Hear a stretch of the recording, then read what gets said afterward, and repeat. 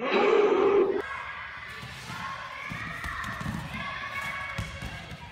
right, guys, check it out. Real basic. You learn this in youth wrestling, but it's highly effective once you really understand the principles and details, okay? So, I got Big Johnny here. He's on my back. He's in the riding position. All right, there's two ways you can do this. You can either sit out or sit in. I actually prefer to sit in because it pushes him on his heels.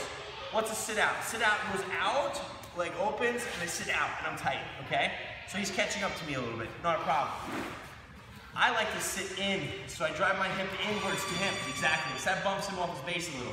Now I go here, I'm tight. Don't let him come underneath this arm. Keep this arm tight, okay? So I'm here, tight, wrist control.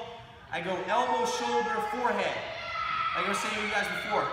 Not elbow, shoulder, ear, not elbow, shoulder, face, not elbow, shoulder, back. My back never touches the mat. I go to my forehead, elbow, shoulder, head, now I'm on my feet, I circle to the top, and I collapse back to the other hip. His arm will pop out. Granted, I cannot use a joint manipulation, but I'm out behind his elbow instead of in front of it. What do I do? Hips up, take the reversal. Okay, so one more time. Here, sit out or sit in, preferable to you. Here, I'm tight.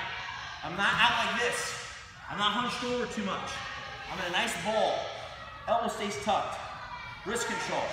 Elbow, shoulder, head. Gotta have neck strength. Circle, circle, collapse to my hip. Now from here, hips up. Take his hip.